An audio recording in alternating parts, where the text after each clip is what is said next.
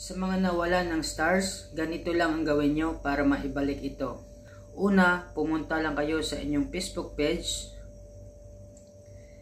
Then, i-click nyo ang inyong profile sa left side. Makikita nyo ang C dashboard. Tap nyo lang yan. Then, scroll nyo lang pababa. Hanapin nyo ang monetization. Then, tap nyo lang yan. Pagkatapos ay makikita nyo yung your tools. Tapos, i-click nyo lang yan ang arrow ng stars. Click nyo lang yan.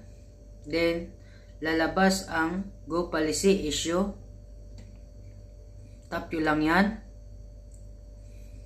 Pagkatapos ay makikita na dyan ang request another review. Itap nyo lang yan guys. After 2 days or 3 days ay babalik na yan ang inyong star. Maghintay lang kayo ng mga ilang araw at i-review yan ni Mita kung meron kayong mga violation.